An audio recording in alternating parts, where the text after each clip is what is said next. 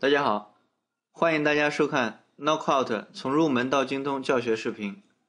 我们今天学习第十课。本节课我们将继续学习支付银行选择页面的开发。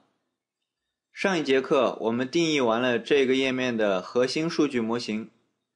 本节课我们的重点就在于编写页面的 HTML 结构，以及将 ViewModel 当中定义的属性银行的数据列表。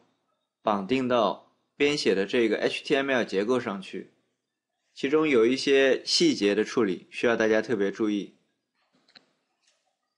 我们回到代码界面，首先我们需要引用这一课的一个已写好的 CSS 文件。我们先引用这个 CSS 文件，lesson 十。好，我们保存代码，然后我们看一下这个 CSS 文件当中写的一些东西。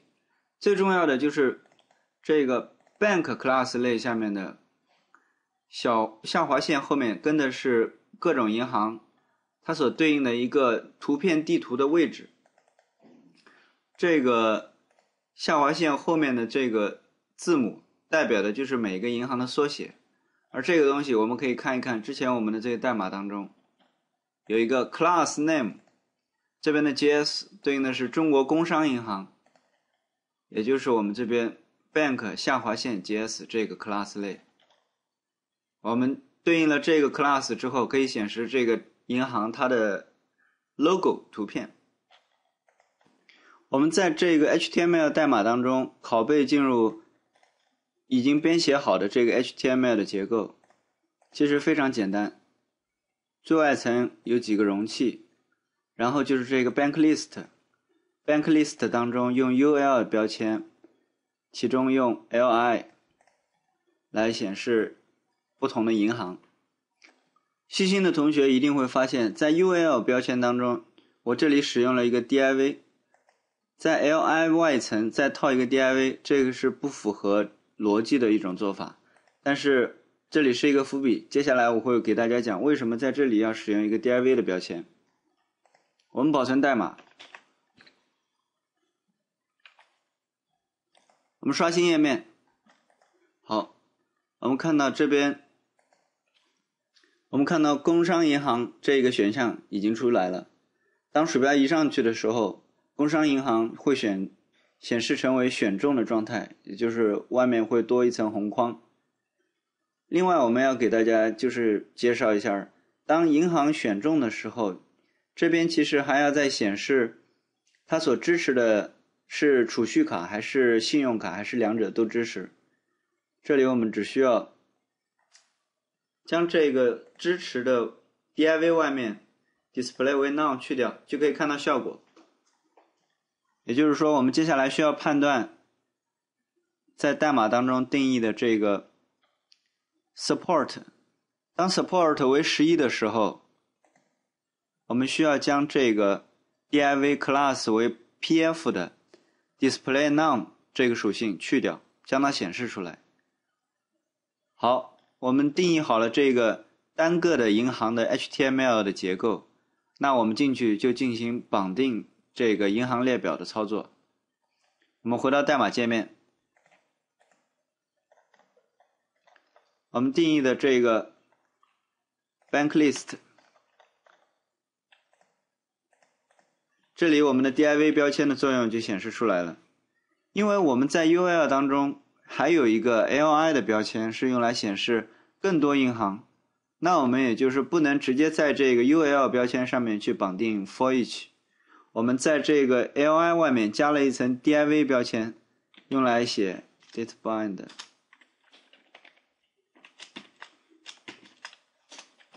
for each bank list，这里有一个问题。在 Angular 这种 MVVM 的框架当中，他们是允许用两个花括号来执行 Angular 的一些方语法，而在 Knockout 当中这一点支持并不太好，所以我们有些时候可能需要新增一些 HTML 的元素，来为我们实现这样相同的效果，去写入一些 DataBind 的语法。这个我想可能是以后 Knockout 需要改进的地方。好，我们绑定好了这个 bank list 之后，这里我们需要对 li 加上 databind 去绑定它的属性 class。我们将这边的 class 先留住，databind 当中写入 attr，也就是 attribute，它是一个 key value class。冒号，detail 点 class name 加，应该写在前面，bank 下划线，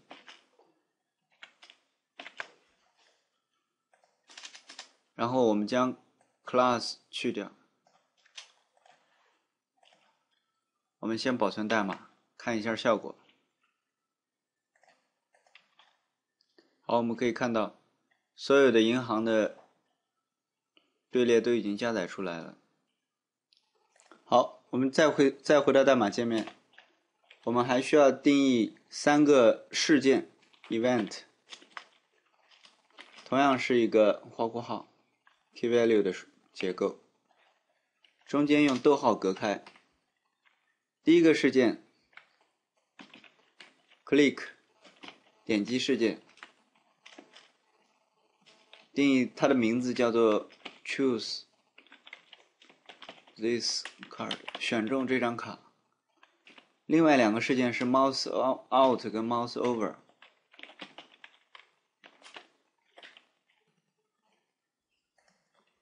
当鼠标悬停的时候，我们需要显示这张银行所支持的。那个卡种的类型，那我们这边的定义的方法的名字就叫做 show card support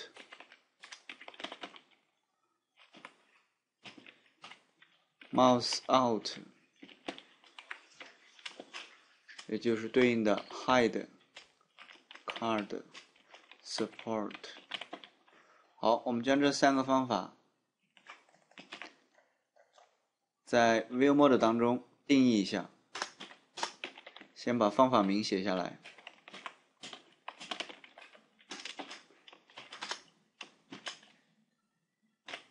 这里有一个注意点，这个匿名方法当中可以传入 item，而这个 item 也就是我们这个 Bank List 当中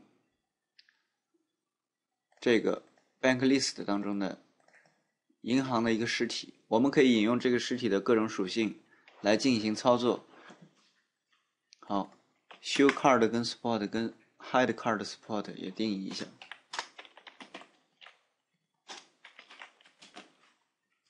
我们拷贝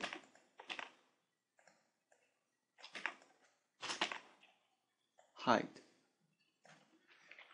隐藏银行的卡种的知识信息。我们这里有一个地方提醒大家注意一下，我们定义的这个 choose this card 的方法，show card support 跟 hide card support 这三个方法都是在 view model 当中去定义的，而我们在循环体中要引用这三个方法，需要在这个方法名称前面加上 dollar 符号 root，也就是说它是根目录下面的一个方法。如果我们不加这个。dollar 符号 root 的话，页面当中会显示方法未定义，找不到方法的定义。这三个方法要执行的操作其实非常简单，只需要选中这个银行卡的时候，设置这个 item，也就是这个银行属性当中的 selected 为 true，选中状态。而显示这张银行卡的支持卡种的信息的时候，我们只需要设置 item 的 hover 属性为 true，也就是说这张银行卡悬浮了。那我们接下来在这个 pf class 这个 div 当中，我们就可以根据 hover 这个属性去选择是否显示这个支持卡种的信息。好，这边写入 true，hide 就是将 hover 属性设置为 false。好，我们来在这边支持卡种的信息当中加入 databind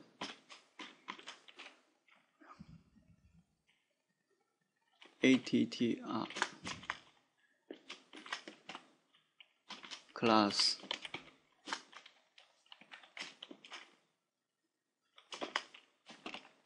这里有一个判断，也就是说，当目前这银行卡是选中状态。或者悬浮状态的时候，我们都会显示它的支持卡种的信息。那么我们这边加入的就是 selected。注意这里是方法或者 hover。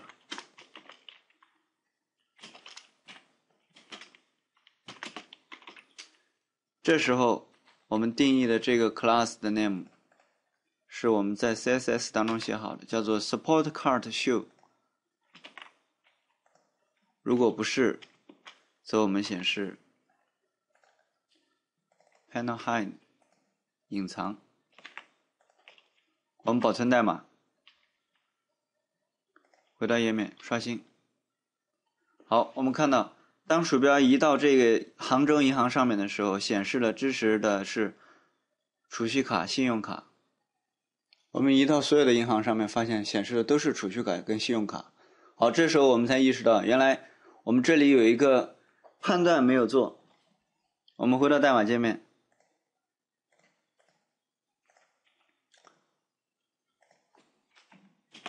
加入 HTML。我们这边的判断也就是，当银行属性的。support 等于十一的时候，我们才会显示储蓄卡跟信用卡，而显示十的时候，只显示储蓄卡。detail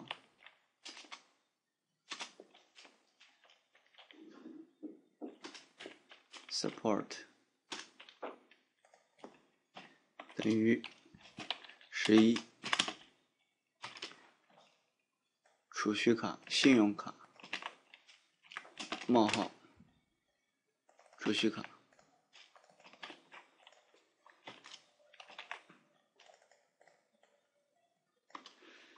在这个 HTML 前面还要再加上支持。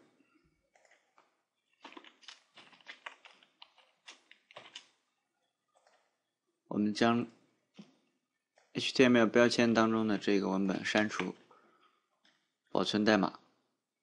回到页面刷新，看到，好，交通银行它是仅支持 support 储蓄卡的，其他的是显示支持储蓄卡跟信用卡。好，我们回到代码界面，我们需要在这边定义一个属性，叫做 selected bank。这时候我们需要使用 knockout 的。computed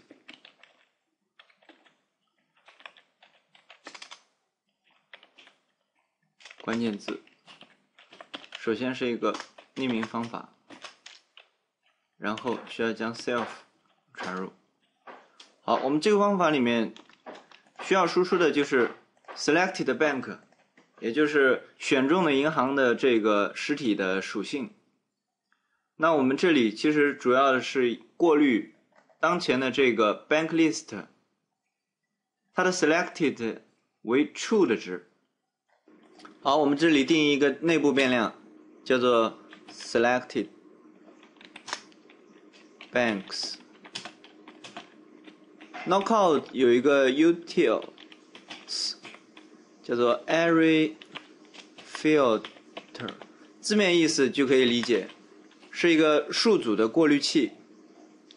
其中有两个方法，首先，首先是当前的这个数组需要过滤的，也就是我们这边的 bank list。另外一个是一个匿名方法，匿名方法当中传入 bank，也就是要过滤的单体的这个银行。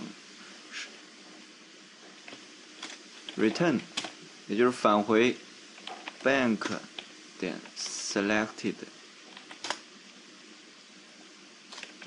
等于 true 的。好，我们再做一个判断，如果选中的这个银行 length 大于零，那我们返回第一个。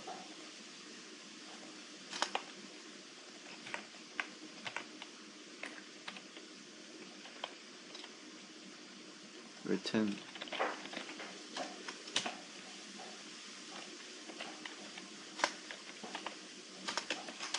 如果没有，返回一个空对象。好，我们在这边定一个 HTML 标签 b，我们绑定 datebind HTML，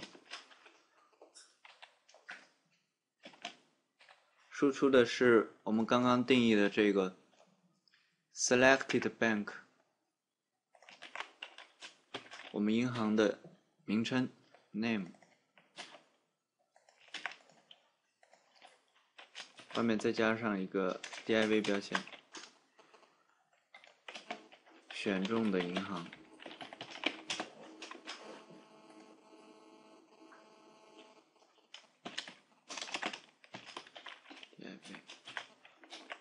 好，我们保存代码，回到页面刷新。我们看到这边有个脚本的错误，也就是说当前没有银行选中。那么我们返回的是一个 now，而这时候我们是没有办法绑定 now 的 name 属性的。我们这时候需要回到代码界面去修改一下。如果没有银行选中的时候，我们返回一个空。但是我们这里还要再注意一下，因为我们返回的是 map bank list。也就是说，是一个 bank entity 这个对象。那么，这个对象当中要显示这个银行的名称，我们需要加上 detail。也就是说，我们在绑定的这个 selected bank 后面需要写上 detail name。那我们没有选中银行的时候，应该返回的是一个 bank entity，也就是 new。这样，好，我们保存代码，回到页面刷新，选中杭州银行。我们看到选中的银行这边就显示了杭州银行，其实它返回的是一个 bank entity，这里面有 bank ID、bank code。我们在服务端接收的数据时候，可能不仅仅需要显示的是这个杭州银行的中文字体，可能还需要 ID，需要 bank ID，需要 bank code 这些数据。好，那我们这一次的这个支付银行选择页面的开发，基本就告一段落了。我们来回顾一下这节课的内容。上一节课我们定义完成了核心数据的模型，这一节课我们主要是是在编写页面的 HTML 的结构，然后在这个结构上面去绑定 ViewModel 当中定义的这个银行的列表。最重要的一些都是细节。希望大家观看了这个视频之后，可以在平时的开发过程当中去处理好这些细节。好，本节课就到此结束了，感谢大家收看，谢谢，再见。